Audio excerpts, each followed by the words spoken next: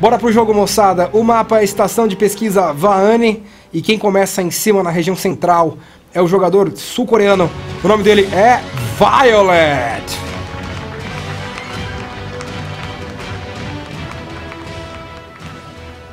E no meio do mapa, jogando de terrano azul, é o jogador Major. E vamos que vamos. Vamos que vamos. Foi nesse mapa aqui que eu Mesmo não foi muito feliz contra o, o Bunny. E tem um detalhe também importante que a gente precisa comentar aqui desse mapa, que é a expansão natural, Pedro. Que ela é muito bem protegida, os jogadores podem tirar a expansão primeiro, que é tranquilo. Aqui nesse mapa, o jogador primeiro só tem uma rampa, que é a rampa da principal. Então, por incrível que pareça, a principal ela fica uh, vulnerável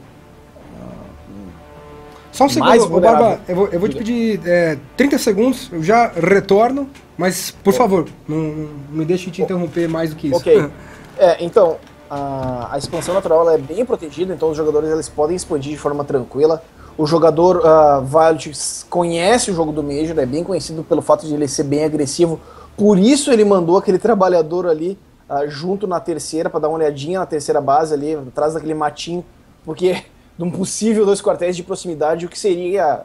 que é bem comum de, de o Major fazer, esses quartéis de proximidade, então ele foi ali conferir e aí também já mandou um trabalhador, aproveitou o embalo, né? E mandou o trabalhador para fazer o reconhecimento para ver se não está sendo nenhuma macacada pelo lado do Major, né? Ele é um jogador muito conhecido por esse tipo de, de atitude bem agressiva, então não custa, vale, acaba se pagando esse reconhecimento cedo. Mas o Major está escolhendo uh, inicialmente uma estratégia bem pra, padrão, né? Abre o, abre o quartel, abre o gás, Aí faz o exterminador, faz reconhecimento com ele, leva um outro trabalhador que estiver dando bobeira.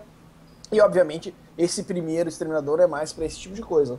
Então só resta saber se ele vai abrir mais exterminadores para então tentar de repente levar uma ou outra rainha que começa a ficar de bobeira ou até mesmo protegendo os trabalhadores. A gente conhece, já viu inclusive o Kelazor fazendo aquela estratégia com mais né, é, exterminadores que acaba levando uma rainha se o adversário vacilar. E tá saindo o segundo exterminador aqui pro Major, realmente. Ele vai ficar forçando o jogo em cima do Violet. É, inclusive a gente vai vendo só um segundinho, pessoal. A gente já tá voltando para dentro do jogo. Fiquem conosco. Estamos mais uma vez tendo que administrar o feed e voltamos.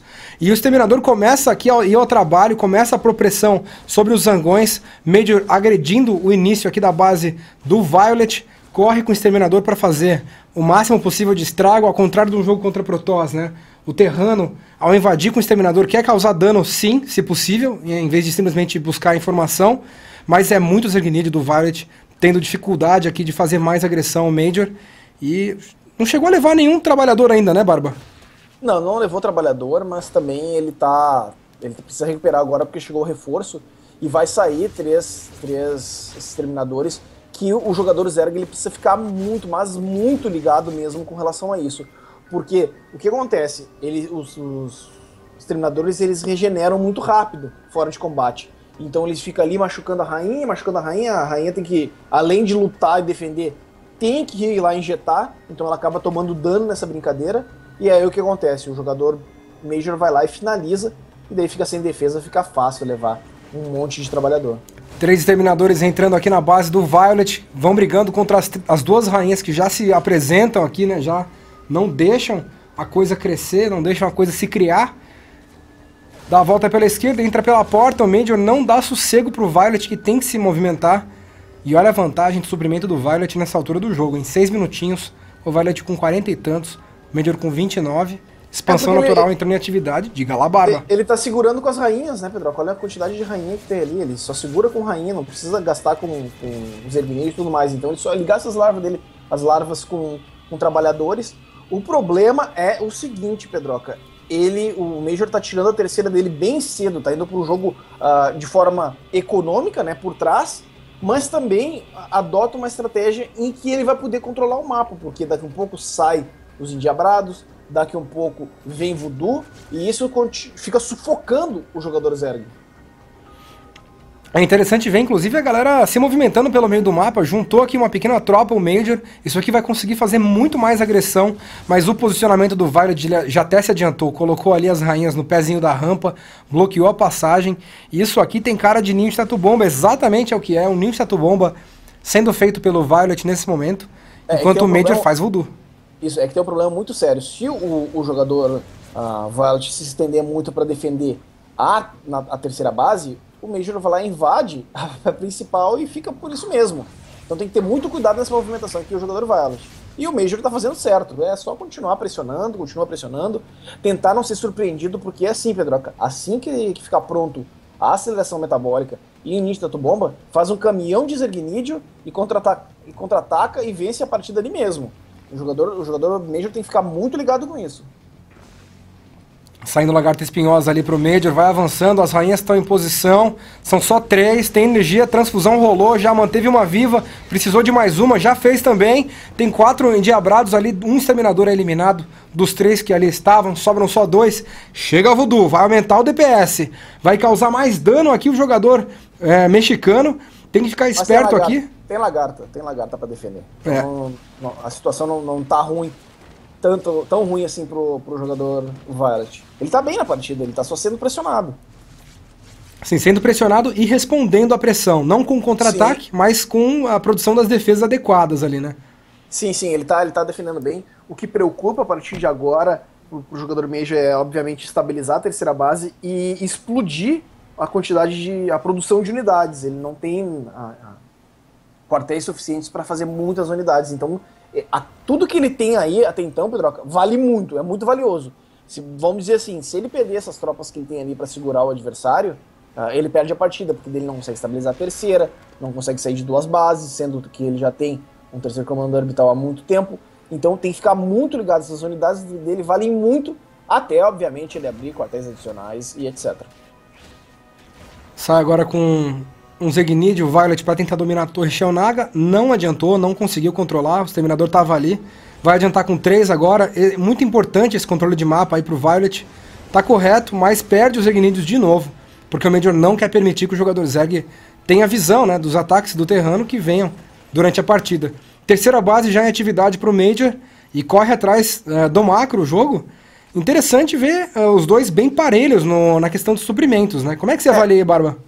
É, não, tá assim mesmo, Pedroca, porque o, o, jogador Major escolheu não ser tão agressivo.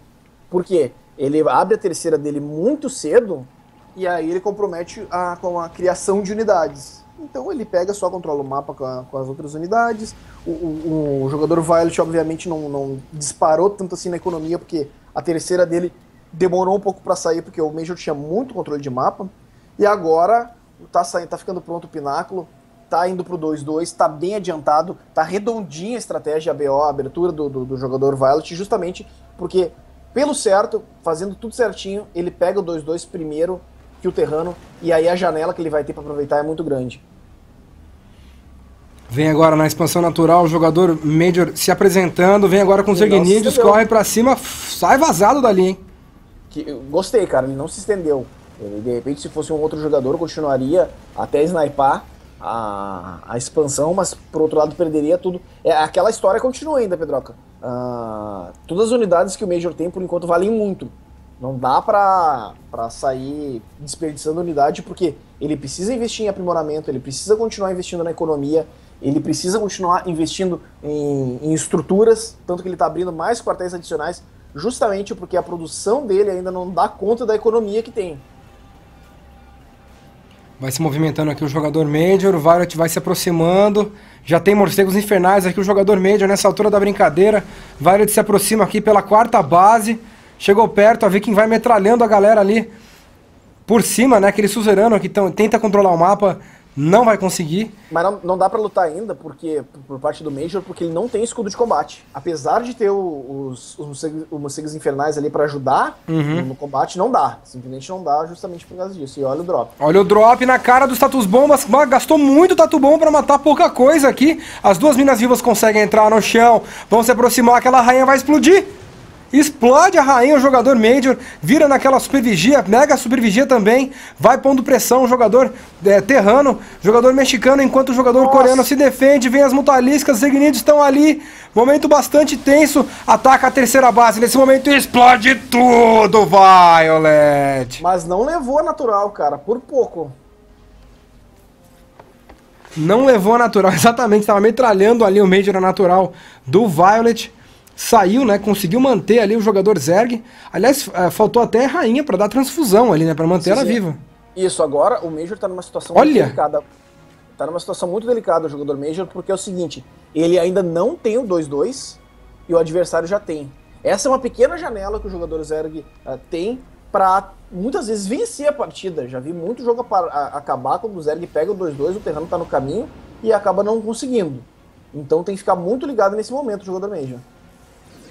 Violet já é, disparando aqui as unidades, traz inclusive mais, mais unidades, o Major, para forçar o disparo do Datu Bomba, para é, fazer com que a mina viúva não dispare mais contra uma unidade sozinha.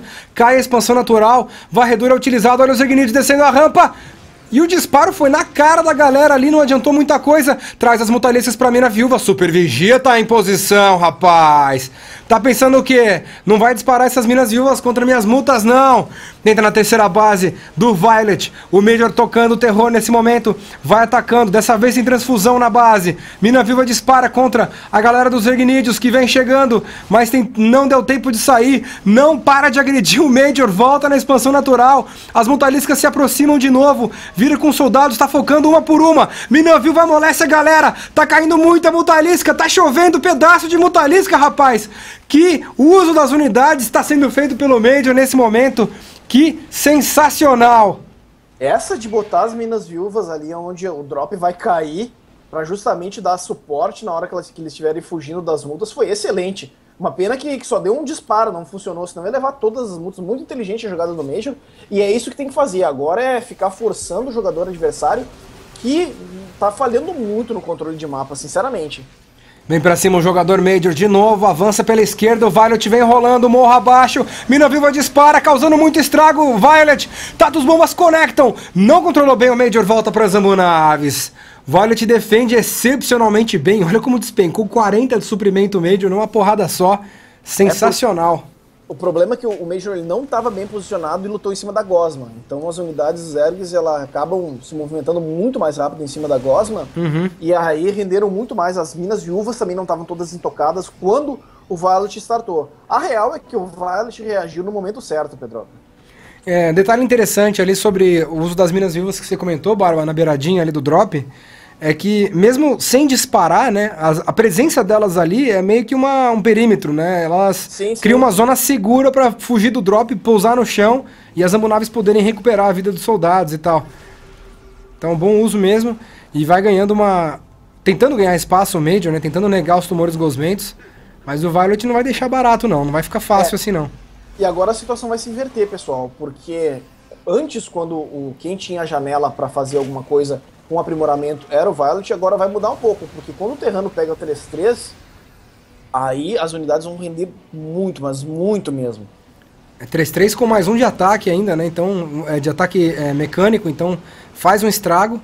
3-3 entrando em atividade em pouquíssimos segundos. Volta para Zambunaves, não deu tempo ainda. O Major tá ligado, as mutaliscas estão no vácuo. Thor está aqui. Vem para cima, Violet. Vem com tudo. Tatu bomba para todo lado. Vem para cima o jogador coreano. Quer conectar. Major não quer deixar. Chegou muito perto, o Major perde tudo. Sensacional conexão do Violet. Sobram poucos soldados, mas tem drop rolando na expansão natural do Violet de novo. Os Ignidos estão ali segurando a galera. Olha o 3-3, né, cara? Olha o 3-3 com a Samburava em cima. E o, o, problema é o seguinte, ele, ele foi muito dentro da, da, da, da base terrana. Aí dois drops comendo ele, um na natural, um lá na quarta base, sendo que ele se estendeu demais. Ele perdeu tudo, ficou só as mutas. E aí, meus amigos, aí é um, é um ataque após o outro. O Major manda uma pressão, manda outra, a milhão ali estão as ações por minuto do jogador mexicano, avançando pesadamente sobre o Violet nesse momento. E olha aí, cai a terceira base, a expansão natural já muito prejudicada por causa dos drops, vai avançando, o jogador mexicano, chegam tatus bombas, mas não, não vai conectar. Tem Thor ali, não vai se meter a besta. É, sinceramente, sinceramente esse jogo aí tá, tá bem na, na mão do Major, né? Ele, ele impôs né, o ritmo da partida. Ele só, não, ele só não pode vacilar na hora das conexões. Vem pra cima, Violet, de novo, conexão de tatu bomba. Mina viva dispara, não consegue. Volta agora com a galera. As Amunaves estão em posição para curar a moçada. Tem até uma Ambunave na espaço natural do Violet ali, com uma cara de pau, né? Parada. E nesse momento o Violet, cara, Barba, sinceramente, o, o Violet precisa que aconteça o quê pra ele voltar pro jogo? O Major cai da cadeira? É, basicamente ele que ele mate tudo do Major sem perder no mínimo possível. É só assim para ele voltar para a partida. Vai avançando o Major, o Violet tá ali, tem Tatu Bombas, os Ignitos se aproximam, disparo de mina viúvas, Tatus Bombas conectam nas minas, separa a galera, o Major sem problema, o 3-3 grita no campo de combate, né, cara? É impressionante como o 3-3 snipa a Tatu Bomba muito rápido, as mutualistas estão no ar, é GG já já, é GG! E a vitória é do Major!